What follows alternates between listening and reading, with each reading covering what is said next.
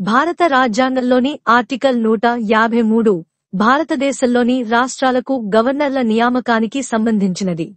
వ్యాసం యొక్క వివరణ ఇక్కడ ఉంది?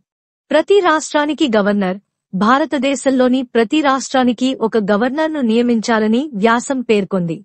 గవర్నర్ రాష్ట్రానికి రాజ్యాంగ అధిపతి మరియు భారత రాష్ట్రపతిచే నియమింపబడతారు. బహుళ రాష్ట్రాలకు గవర్నర్గా ఒక వ్యక్తి కోసం నిబంధన కథనం ఒక నిబంధనను కలిగి ఉంది. అంటే మినహాయింపు లేదా ప్రత్యేక షరతు.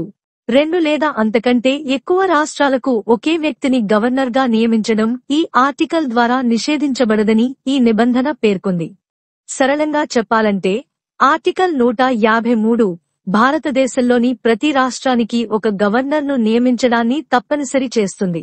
అయితే ఏకకాలంలో ఒకటి కంటే ఎక్కువ రాష్ట్రాలకు ఒక వ్యక్తిని గవర్నర్గా నియమించే అవకాశాన్ని కూడా ఇది అనుమతిస్తుంది. ఈ నిబంధన కేంద్ర ప్రభుత్వం పరిపాలనా ప్రక్రియలను క్రమబద్ధీకరించడానికి లేదా బహుళ రాష్ట్రాలకు గవర్నర్గా ఒక వ్యక్తిని కలిగి ఉండటం సరిపోతుందని భావించే నిర్దిష్ట పరిస్థితులకు అనుగుణంగా అనుమతిస్తుంది.